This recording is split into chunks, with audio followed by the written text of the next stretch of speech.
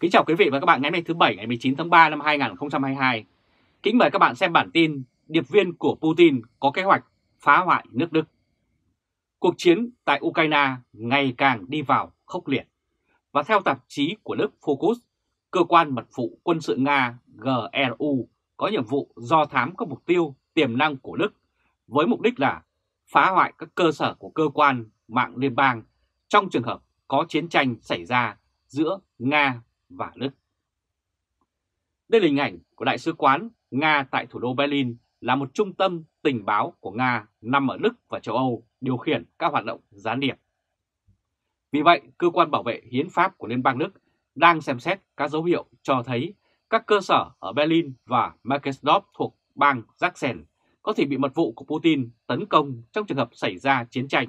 Chuyên gia mật vụ Joseph dẫn thông tin của giới an ninh cho biết Đáng chú ý là những mục tiêu này liên quan tới các cơ sở của cơ quan mạng của liên bang, có nghĩa là tấn công vào các thiết bị viễn thông và cung cấp năng lượng bao gồm điện và khí đốt ở Đức để khiến cho hoạt động ở đây phải tê liệt khi Nga tấn công vào Đức.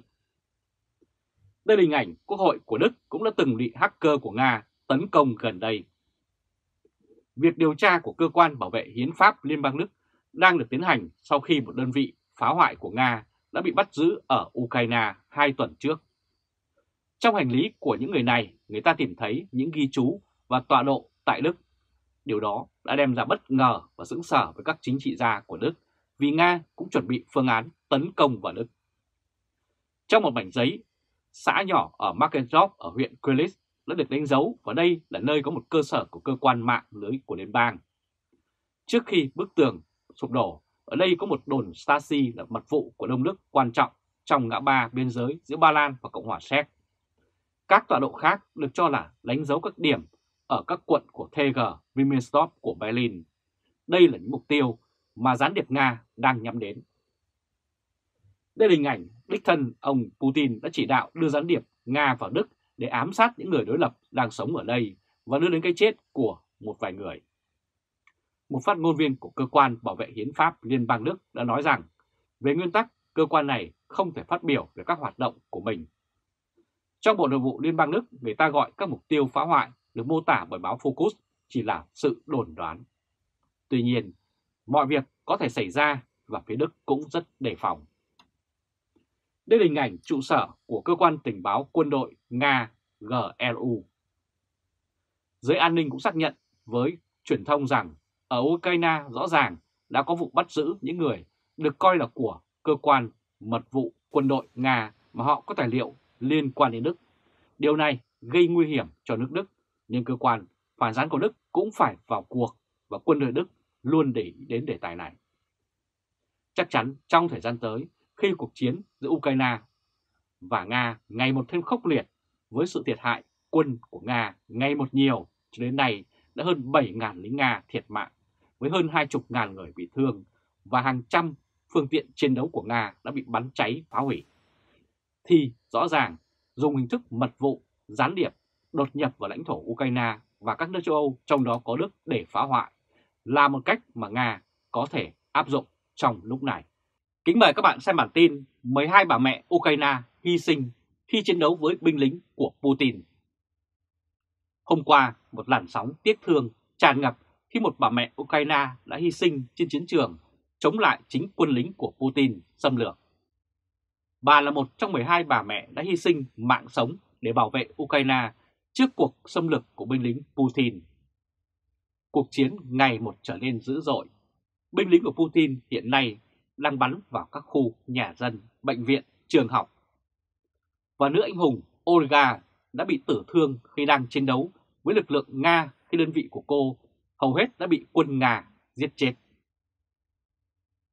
Đây là hình ảnh nữ quân nhân Olga, bà mẹ của 6 đứa con ruột và 6 đứa con nuôi. Những người Ukraine đã bày tỏ lòng biết ơn tràn ngập trên các phương tiện truyền thông xã hội tưởng nhớ đến Olga, bà mẹ hy sinh trong cuộc giao tranh vào ngày 3 tháng 3. Cùng với 6 đứa con ruột của mình bà Olga đã nhận nuôi 6 đứa trẻ mồ côi từ trại trẻ mồ côi ở địa phương này. Thân thể của bà vẫn chưa được thu nhận lại toàn vẹn sau cuộc chiến để gia đình có thể tiến hành chôn cất. Con gái bà Julia cho biết rằng bà ấy đã cứu những người lính đến người cuối cùng. Chúng tôi có những bức ảnh nơi bà đã hy sinh, nhưng hiện cuộc chiến đấu còn tiếp diễn căng thẳng, nên gia đình vẫn chưa thể chôn cất mẹ tôi. Chính phủ Ukraine đã tuyên dương tinh thần hy sinh anh dũng và cuộc đời đầy lòng vị tha của bà Olga. Đây quả thực là những tấm gương anh dũng chiến đấu để bảo vệ đất nước Ukraine chống lại quân Nga xâm lược. Anton, cố vấn của Bộ Nội vụ Ukraine cho biết thêm, bà ấy đã bị giết trong một cuộc đối đầu với những tên côn đồ Nga. Ngay cả khi hiểu rằng toàn bộ trung đoàn chiến đấu có thể bị giết, bà ấy vẫn cương quyết bảo vệ đất nước đến cùng. Bà ấy là một anh hùng dân tộc. Đối với tôi, bà ấy thật sự là một nữ anh hùng. Đây là hình ảnh nữ quân nhân Olga trong trang phục chiến đấu trước khi bị hy sinh. Olga sống ở thành phố Manet, cách xa nơi xảy ra cuộc giao tranh khoảng 240 km. Trước đây, bà đã được phong tặng danh hiệu bà mẹ anh hùng vì đã nuôi trên 5 đứa con. Marina nói trên trang Facebook rằng người phụ nữ Ukraine này thực sự là một anh hùng. Một người dùng khác thì nói rằng hãy yên nghỉ Olga, người anh hùng của Ukraine ở châu Âu. Trúc Tover thì đăng tải dòng trạng thái như sau. Olga đã chiến đấu đến cùng cho đất nước của cô ấy. Người anh hùng hãy yên nghỉ giấc ngàn thu. Còn Stevat thì ghi rằng người anh hùng bất tử. Hôm qua, Ukraine còn vinh danh hai người đàn ông thiệt mạng trong một cuộc tấn công của tên lửa hành trình hôm Chủ nhật và một căn cứ quân sự được sử dụng cho các cuộc tập trận của NATO cách biên giới Ba Lan khoảng 12 km. Và quang cảnh cho thấy những người phụ nữ đau đớn khóc thương hai người lính Roma và Mikulai Họ được an nghỉ trong quan tài lót vải màu trắng. Đây là hình ảnh người dân đến viếng đám tang của hai người lính Ronan và Mikola trong trận chiến. Hàng trăm người đã đến bày tỏ lòng kính trọng tiếc thương cùng người thân và hàng xóm trong đám tang tại nhà thờ. Deacon Taras thì viết rằng, những người này giống như những thiên thần đối với chúng tôi. Họ đã chết để bảo vệ chúng tôi. Họ là những anh hùng của chúng tôi, của Tổ quốc Ukraine. Những người anh hùng của nhân dân, những người anh hùng không bao giờ chết. Những người đồng đội đã khiêng quan tài phủ cờ ra khỏi nhà thờ ở Sanchi để đem đi chôn cất. Nhà thờ nằm gần căn cứ ở Yoris, cách biên giới 12 dặm, nơi những người đàn ông ở độ tuổi từ 40 đến 50, trong số 35 người đã thiệt mạng, 135 người khác bị thương. Trong khi đó, khi thành phố Mariupol bị bao vây, các bác sĩ và y tá vẫn tiếp tục điều trị cho bệnh nhân, mặc dù bệnh viện đã bị quân Nga chiếm đóng.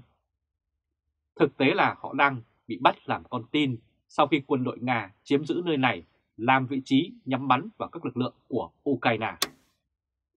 Vị chỉ huy phía Ukraine, Pavlov, cho rằng quân Nga đã bắt 400 người dân dồn vào khu chăm sóc đặc biệt của bệnh viện, cùng với khoảng 100 bệnh nhân và nhân viên của bệnh viện để làm lá chắn sống trước sự chống trả quyết liệt của lực lượng chiến đấu Ukraine tại đây. Đây là hình ảnh binh lính Ukraine thu thập các quả đạn chưa nổ sau khi giao tranh với quân đội Nga tại thủ đô Kiev vào sáng ngày 26 tháng 2. Phó Thủ tướng Ukraine Iris bày tỏ sự đau lòng trước những hy sinh và mất mát vừa qua. Các bác sĩ từ các bệnh viện khác của Mariupol cũng đã tự quay một video để nói về thế giới về sự khủng khiếp mà họ đã chứng kiến khi quân Nga tấn công liên tục vào thành phố. Một nữ bác sĩ đã nói rằng chúng tôi không muốn trở thành anh hùng và liệt sĩ sau khi chết. Những vết thương từ cuộc chiến mà các bác sĩ đang phải đối phó thật kinh khủng. Đó là tay và chân bị xé toạc, mắt bị khoét, cơ thể bị xé thành nhiều mảnh, da thịt bên trong bị rơi ra ngoài.